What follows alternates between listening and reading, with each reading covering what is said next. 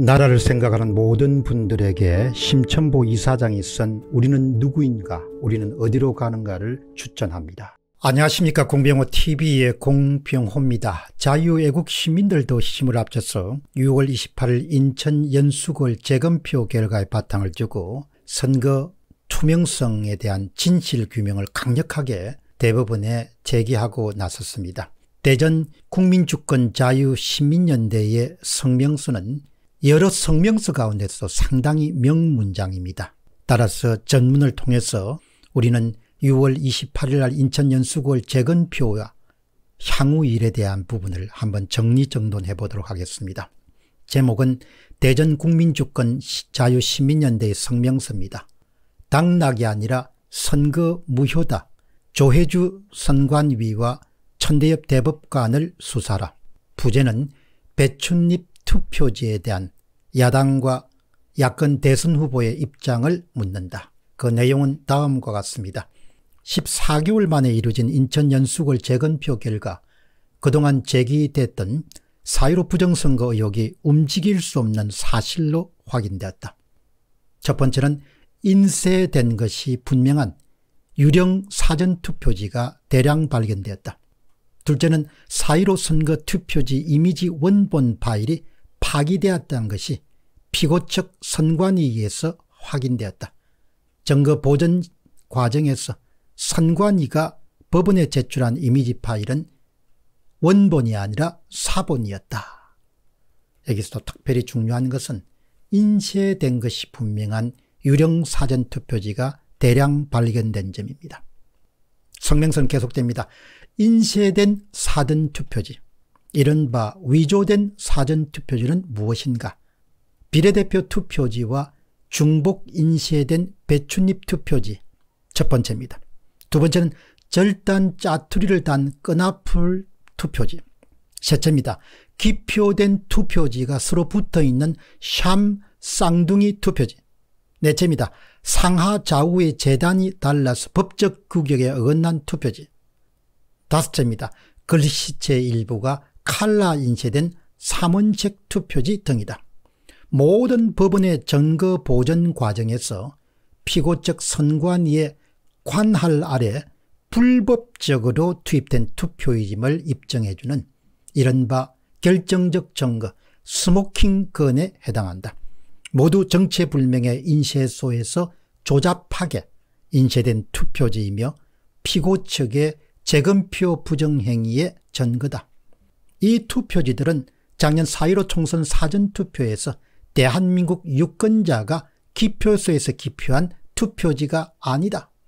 이 투표지들은 작년 4.15 총선 사전투표에서 대한민국 유권자가 기표 도장을 찍고 인주를 묻혀서 찍은 그런 투표지가 아니다는 거죠. 대법관들이 주관하는 재검표 현장에서 단 한 표라도 나와서는 안 되는 정체불명의 부정인쇄물이다.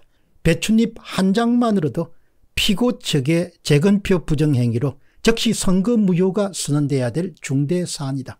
그럼에도 불구하고 선거소송 주심을 맡은 전대엽 대법관은 이런 사실은 일체 언급하지 않은 채 사전투표 조작은 없었다고 6월 30일 언론에 밝혔다. 원래 6월 28일 재검표에서 확보한 투표지 이미지를 원본과 대자하는 감정기를 추후 갖기로 하고 그 이전 발표는 미루는가 싶었다. 그러나 천대엽 대법관이 6월 30일 날 언론 프레이를 하고 조선중앙동화가 이를 받아 일제히 보도했다. 천대엽 대법관이 조작은 없었다는 잠정 결론을 내린 근거는 더욱 황당하다. 선관위가 인천 연수월구 선거구에 부여한 일렬번호 이외에 일렬번호가 적힌 사전투표는 없었다는 것이다. 우리는 이런 발표를 한 천대엽 대법관의 판단력과 의도를 의심하지 않을 수 없다. 지능이 낮거나 피고적 선관위와 한톡성이 아니라면 내릴 수 없는 결론이다. QR코드 일렬 번호 대조는 중복 번호나 번호가 다른 부정투표지를 잡아내자는 것이다. 그게 안 나왔다고 해서 부정이 없었다고 말할 수 없다. 오히려 사후 투입되었음이 맹백한 인쇄된 사전투표지가 수백 수천 표가 나왔는데도 이 불법 투표지들조차 선거 당일 발비한 QR코드 일렬 번호 범위 안에 중복 없이 배치되어 있다는 것이 더 심각한 문제인 것이다. 약간의 설명을 더하면 가짜로 새로 만든 사전투표지를 스캔해가지고 투표지 이미지를 받고 그것을 대법원에 증거로 제출했을 가능성이 굉장히 높습니다. 원본이 없고 사본이라고 하니까. 다시 성명서가 계속됩니다. 피고 측이 재검표 방해를 위해서 인쇄된 불법 투표지를 투입하면서 QR코드 일렬 번호까지 정교하게 맞춰 인쇄에 넣었다는 것이 아니고 무엇이겠는가. 그리고 인천연수원 선관위가 투표지 이미지 원본을 파기하고 사본을 제출한 이유가 무엇인가. 원본과의 대조 확인이 불가능한 재검표는 재검표 쇼이지 재검표가 아니다. 저의 해설을 좀 더 하면 검증이 불가능한 선거는 무효입니다. 선거에는 검증까지 포함을 하게 되는 것이죠. 준비작업, 투표작업, 개표작업, 발표작업, 그 다음에 검증까지 포함해서 선거가 이루어지는 겁니다. 천대엽 대법관은 이 재검표 쇼를 연출해주고 있는 피고 측 대리인이 아닌가 의심하지 않을 수 없다. 지역 선관위가 법원의 명령에 따라 제출한 이미지 파일이 사본이었고 원본은 파기했다고 자백하는 순간 재검표를 방해한 불법 선관위가 주관한 인천 연수월 선거는 원인 무효가 되는 것이다. 앞으로 감정 절차가 필요 없이 그냥 6월 28일만으로도 선거 무효 소송은 원고 측 성소입니다. 왜 그런가 하니까 불법 투표지가 유령 투표지가 다량 출연했기 때문에 우리 대전국민주권 자유시민연대는 자유민주주의 1인 1표의 신성한 주권을 지키기 위해서 4.15 총선 이후 부단히 노력해왔다. 그 과정에서 우리는 자유공화국의 기본 배대인 국민주권이라는 헌법적 가치가 홀대받고 훼손되는 정치 현실을 마주해야 했다. 전산화된 선거 시스템을 운영하는 선관위의 선거 부정은 이른바 민주화 운동권 세력에 의해 공무원 조직이 장악되면서 이미 오랜 역사를 갖고 있다는 것이 우리의 판단이다. 선관위원장을 겸직하고 있는 대법원은 헌법 유린 범죄를 방임해주는 덜러리 역할을 해왔다. 권력을 탐하는 상류층 언론과 정치권은 부정선거를 은폐온 수혜자들이다. 선거법상 6개월 시한을 넘겨 원본 미지파일과 선거인 명부도 없이 진행된 6월 28일 재건표 결과에 대한 선관위, 대법관, 언론, 야당 정치권의 입장과 반응을 보면 국민주권 대한민국 자유민주공화국이 얼마나 망가져 있는가를 가늠할 수 있다. 국민주권과 선거의 무결성을 부정하는 부패한 공직자와 상류층 언론 정치권 그리고 자유삭제운동권 떼근력의 반역행위는 공소시효가 없다. 6월 28일 재검표 상황은 1960년 3.15 부정선거보다 더 심각하다. 언제라도 엄중한 응징을 받게 되리라는 점을 경고하면서 아래같이 우리의 요구와 결의를 밝힌다. 첫째, 선관위의 선거 조작 증거가 나왔다. 사직당국은 원본 파일 파기 등으로 선거 재건표를 방해한 선관위와 불명 인쇄소 등에 대한 수사를 착수해야 된다. 아울러 천대엽 대법관에 대해서도 선거법 시한, 비공개 민사재판, 불법적인 점검을 접근 차단, 허위사실 언론 유포 등 혐의에 대해서 수사할 것을 촉구한다. 둘째, 인천 연수구 투표지 전체에 대한 전면 감정 작업에 나서야 된다. 동시에 중앙선관위 전산 조작의 실체를 밝히기 위해 선거 무효소송에 쟁의한 120여 건 선거구와 그 외 지역구 및 비례대표 선거에 대한 동시 재검표를 실시할 것을 촉구한다.